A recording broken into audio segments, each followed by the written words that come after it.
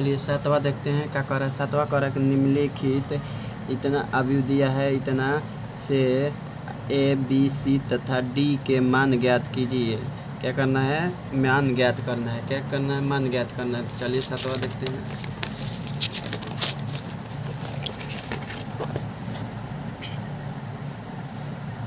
सातवां दिया है। क्या दिया है? यहीं ए माइनस बी उसके बाद टू ए माइनस बी उसके बाद टू ए प्लस सी उसके बाद थ्री सी प्लस डी उसके बाद one minus one five zero तेरह। देखिए, ये दिया है। ए माइनस बी, लीजिए। ए माइनस बी उसके बाद टू, ए प्लस सी उसके बाद टू प्लस सी, फिर उसके बाद दिया two, a minus b, two, a minus b, उसके बाद थ्री, सी प्लस डी, उसके बाद ये बराबर minus one, five, zero, thirty. दिया है। चलिए इसको हल करना कर ए बी सी डी का मान ज्ञात करना है तो देख लीजिए, ये भी समानता अवयव का शर्त सही है। कह रहा है कि दो दो गुना दो कोटि के अवयव है, इसका क्रम क्या बराबर है? और अवयव भी आपस में क्या है? बराबर है। तो निकालेंगे कैसे? ये आपका वन वन हो जाएगा, ये भी आपका वन टू हो जाएगा, ये भी क्या हो जाएगा? टू वन, ये भी टू टू। और ये क्या हो जाएगा? वन वन, और ये वन टू। और उसके बाद ये टू वन उसके बाद ये टू टू तो आपस में कौन सा बराबर है? संगत अवयव वन वन यही वापस है इसका, इसमें के और इसमें के वन वन तो इसमें के वन वन क्या दिया है? ए माइनस बी और इसमें के वन वन क्या दिया है? माइनस एक माइनस एक लिख दिए समीकरण वन बन गया। उसके बाद ये देखिए, इसमें के ए टू फिर उसके बाद ए टू अरे वन टू क्या वन टू ये भी ए वन टू बराबर ए भी वन टू तो देखिए क्या है वन टू इसमें के टू ए प्लस सी बराबर, इसमें के फाइव समीकरण दो, और इसमें देखिए टू वन बराबर टू वन तो देखिए इसमें के क्या है? टू ए माइनस बी, इसमें के ज़ीरो। समीकरण तीन। ध्यान से देखा चलिएगा, समीकरण तीन। उसके बाद इसमें के टू टू और इसमें के टू टू। तो बराबर करेंगे ए टू टू बराबर ए टू टू। इसमें के ए टू क्या है? Three c plus d. Three plus three c plus d बराबर इसमें के तेरह। समीकरण फोर। फोर हो गया। हो रहे गए आप। अब क्या करेंगे? अब बारी बारी से समीकरण को क्या करेंगे? हल करेंगे। क्या करेंगे? हल करेंगे। क्या करेंगे? हल करेंगे। देखिए, ये वाला और ये ये इसके साथ है। और ये वाला और ये वाला, इसके साथ हल करेंगे तो निकल जाएगा, नहीं तो आप एक को भी हल कर भी निकाल सकते हैं। तो चलिए, एक को भी हम हल करके देखते हैं। चलिए इसको हल कर रहे हैं, इसको तीन को समीकरण। तीन से। समीकरण तीन से। Two a minus b equal two zero. तो टू ए बराबर बी। तो बी का मान क्या आ गया? Two a. अब लिखेंगे बी का मान समीकरण किसमें? बी का मान समीकरण इसमें वन में। एक में रखने पर रखने पर, एक में क्या करने पर? रख देने पर बी का मान। थ्री से चले हैं तो थ्री में नहीं रख सकते वन में इसमें रख सकते हैं तो ए में। तो ए माइनस बी दिया है। पहले का समीकरण माइनस ए और इसी में बोल रहा है नो की रखने के लिए किसका बी के मान। किसका बी के मान। बी के मान रखेंगे एम माइनस टू ए यहीं है, नो बी के जगह पर ये वाला है, इसको रख दिए बराबर माइनस वन अब इसको हल करेंगे तो कितना आएगा? ए गो माइनस वाले ए गो ए और माइनस दो गो ए तो कितना हो जाएगा? माइनस ए बराबर माइनस वन है कैंसिल माइनस माइनस तो एक के मान कितना आ जाएगा? वन। एक के मान कितना आया? वन। उसके बाद चलिए ए के मान किसमें रख देंगे? ए के मान किसमें रखें? या तो इसमें रख देंगे तो निकल जाएगा बी के मान। ये रखेंगे तो बी के मान निकल जाएगा नो? इसमें इसमें रखेंगे तो बी के मान निकल जाएगा। चलिए, रख के देखते हैं। नहीं इसमें रखिए इसमें रखे टू में। टू में रखेंगे तो सी के मान निकालेगा। एक के मान टू में रखने पर। लिखेंगे। लिखेंगे क्या? एक का मान समीकरण टू में रखने पर रखने पर रखने पर टू में तो टू में रखेंगे टू ए प्लस सी बराबर five two a plus c बराबर फाइव यहीं दिया देखिए टू ए प्लस सी बराबर फाइव समीकरण ये दो है, इसी में रखना है ए के मान। तो टू एक के जगह पर क्या आया है? एक एक आया है तो एक रखेंगे। एक प्लस सी बराबर फाइव इसके बाद गुना कर देंगे दोनों को तो टू प्लस सी बराबर फाइव ये प्लस में है तो इधर जाएगा तो माइनस में। फाइव माइनस टू सी बराबर थ्री सी बराबर क्या आ जाएगा? थ्री इधर, ये देखिए, इधर प्लस में था तो इधर बराबर को उस साइड जाता है कोई भी अंग तो माइनस में चल जाता है। तो कम की करेंगे माइनस में गया, उसको कम किया तो थ्री अब सी के मान किसमें रखेंगे? सी के मान रख दीजिए इसमें फोर में। सी के मान फोर में डी का मान निकल जाएगा। तो लिखेंगे, क्या लिखेंगे? सी का मान समीकरण किसमें? फोर में। फोर में रखने पर। फोर में रख रहे हैं सी के मान, समीकरण फोर में तो three c plus d three c plus d बराबर क्या है? तेरह। यही समीकरण फोर है आपका। इसमें रखेंगे सी के मान, थ्री, सी के जगह पर क्या है? तीन। तीन प्लस डी बराबर तेरह। तो देखिए थ्री के नौ प्लस डी बराबर तेरह। देखिए, इधर प्लस में तो उधर बताए ना बराबर को उस साइड जाता है तो माइनस में। तेरह माइनस डी बराबर चार। तेरह में से नौ गया चार।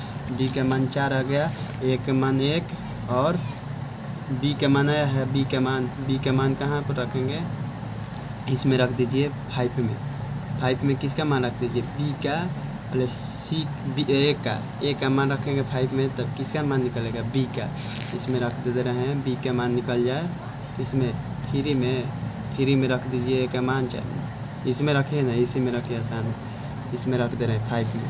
तो लिखेंगे बी का मान पहले ए का ए का मान। समीकरण। फाइव में रखने पर। रखने पर। फाइव में रखने पर। फाइव का टू ए बराबर बी लिखेंगे टू ए बराबर बी यहीं। तो इसमें ए का किसका मान रखना है? ए का तो टू ए का मान, एक आया है, यहाँ पर एक। एक रख दिए बराबर बी यानी बी का मान क्या आ गया? दो। बी का मान क्या आया? दो। लिखेंगे। अतः ए बराबर एक बी बराबर दो, और सी बराबर क्या है? सी बराबर तीन, और डी बराबर क्या आ गया है आपका? चार। क्या आ गया? चार। तो ए बराबर एक, बी बराबर दो, सी बराबर तीन और डी बराबर चार। यहीं पूछा था, देख लीजिए। यही पूछा था, इसमें सतवा में ए, बी, सी तथा डी का, डी के मान ज्ञात कीजिए तो मान ज्ञात करते हुए देख लीजिए। आ गया आपका आंसर। आ गया, ये यही वाला आपका आंसर। चलिए आगे देखते हैं आठवां का करा करा कि ए बराबर ए आई जे एम गुना एन एक वर्ग अभी है यदि क्या? तो वर्ग अभी होता है एम गुना एम बराबर एन उसका क्या होता है? वर्ग। क्या होना चाहिए? बराबर। एम गुना एन कोटि, देखिए। इसका क्या है? बराबर है। तो ये कौन सा ऑप्शन होगा? ये। इसका ऑब्जेक्टिव है। मार लीजिएगा सी इसका। ये सी इसका ऑप्शन सी है। उसके बाद ना नौवा चलिए। ऑब्जेक्टिव है। बता दे रहे हैं। ये आपका शर्त था, नौवा। नौवा कह रहा है कि एक्स तथा वाई के प्रदत्त किन मानों के लिए अभिवो के निम्नलिखित युग में समान है? तो लिखेंगे, क्या दिया है अभी three plus seven y plus one, उसके बाद five. Into plus three minus है सॉरी यहाँ पर माइनस तीन बराबर क्या है? ज़ीरो आठ वाई माइनस दो फोर देख रहे हैं, अब जो ऑप्शन दिया है, आपका ऑप्शन दिया है ए बराबर एक्स एक्स बराबर minus one by three y बराबर सात, और बी दिया ज्ञात करना संभव नहीं है। ज्ञात करना संभव नहीं है। और सी दिया है एक्स वाई बराबर सात एक्स बराबर माइनस दो बटा तीन और डी दिया एक्स बराबर माइनस एक बटा तीन वाई बराबर माइनस दो बटा तीन। देखते हैं कौन सा ऑप्शन आता है। ये आता है कि बी आता है कि सी आता है डी आता है। हल करके देखिए देखिए। और ये वाला, और ये वाला, इनसे बराबर करते हैं न। बराबर करेंगे थ्री एक्स इसका मान सोल्यूशन प्लस सात इजकल टू ज़ीरो बराबर कर दिए थ्री इसका मान निकाल लीजिए, बराबर माइनस सात आएगा नो। तो एक एक्स बराबर क्या आ जाएगा? माइनस सात बटा में तीन। और दूसरा निकालेंगे। ये वाला और ये वाला इससे किन से इससे। तो एक्स बराबर क्या आ जाएगा? हमारे फाइव फाइव पाँच बराबर वाई माइनस दो वाई माइनस दो। देख लीजिए। ये देखिए, इधर क्या है? माइनस में है तो इधर आएगा तो क्या है? प्लस में तो फाइव प्लस टू बराबर वाई। क्या आ जाएगा? वाई। ये क्या हो जाएगा? सेवन बराबर वाई। देखिए, ये इसका मान आ गया और ये इसका मान। अब उसके बाद ये वाला इससे। देखिए, ये वाला इससे। तो वाई प्लस वन बराबर आठ। वाई प्लस वन बराबर आठ। इसको हल करेंगे वाई बराबर में आठ माइनस एक प्लस में है तो माइनस में तो वाई बराबर में क्या आ जाएगा? सात। देखिए, इसका मान आ रहा है अलग अलग सबका। तो टू ये वाला इससे तो टू माइनस थ्री एक्स बराबर में फोर तो क्या आ जाएगा? टू ये इधर माइनस थ्री एक्स ये बराबर के उस साइड जाएगा तो प्लस में तो माइनस में टू, थ्री एक्स बराबर में ये टू तो ये एक्स बराबर क्या हो जाएगा? माइनस दो बटा में तीन। देखिए, एक्स के मान यहाँ पर क्या आया है? और यहाँ पर देखिए, इसका मान क्या आया है? यहाँ पर एक्स का मान ये आया है, यहाँ पर एक्स का मान ये आया है। यहाँ पर वाई का मान ये आया है और यहाँ पर वाई का मान ये है। वाई का मान तो सेम है, लेकिन एक्स का मान अलग अलग आया है। इसका ऑप्शन हो जाएगा आपका बी ऑप्शन बी हो जाएगा। ज्ञात करना क्या है? संभव नहीं है। ये ऑप्शन आपका हो जाएगा बी ज्ञात करना संभव नहीं है। चलिए, दसवा देखते हैं।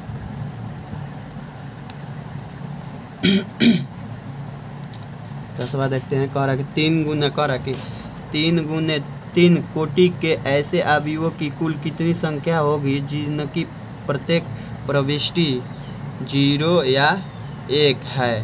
तो कह रहा है कि तीन गुना तीन कोटि के अवयव तो प्रविष्टियों की संख्या कितना दिया है? दो। कितना दिया है? दो। लिखेंगे?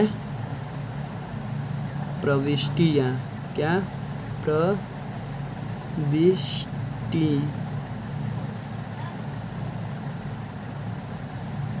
प्रविष्टियाँ की संख्या क्या दिया है? एक नंबर का है। कितने हैं? दो। कितने हैं? कुल अवयवों की संख्या कितने हैं? कितने हैं? नाइन। कितने हैं? नाइन। तो इसको इस तरह से बनाएँगे। देख लीजिए। प्रविष्टियों की संख्या। नाइन है।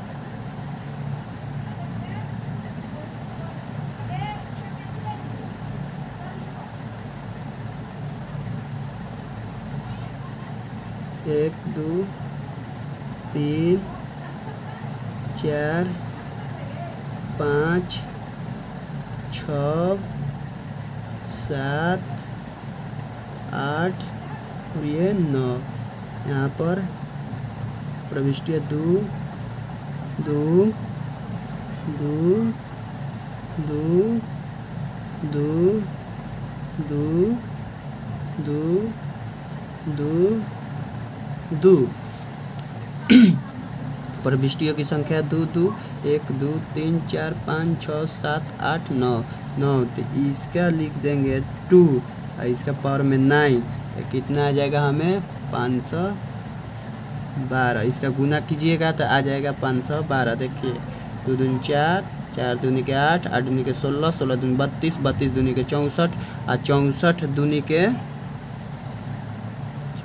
दो दून चार चार दूनी आठ आठ दूनी सोलह सोलह दूनी बत्तीस बत्तीस दूनी चौंसठ, है, चौंसठ दूनी के आठ, चार चार, आठ, छः दूनी के बारह, दो सौ, एक सौ, अट्ठाईस और फिर दो से।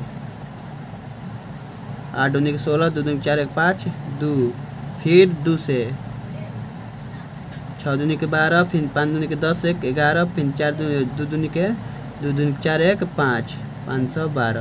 देखिए, चार दूनी के दो दूनी के चार चार दूनी के आठ आठ दूनी सोलह सोलह दूनी बत्तीस बत्तीस दूनी चौंसठ और चौंसठ दूनी के होता है आपका एक सौ अट्ठाईस, एक सौ अट्ठाईस दूनी का होता है दो सौ छप्पन और दो सौ छप्पन दूनी का होता है पाँच सौ बारह। इसका आंसर आ गया आपका पाँच सौ बारह। इसको एक और तरीका से हल कर सकते हैं, देखिए। लिखेंगे कि अवयवों की संख्या। देखो, प्रविष्टियों की संख्या प्रविष्टियाँ। प्रविष्टियाँ की संख्या बराबर होता है इसका होल स्क्वायर किसका? अवयवों।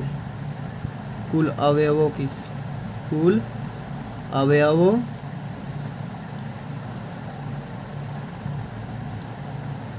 अवयव की संख्या, क्या? संख्या।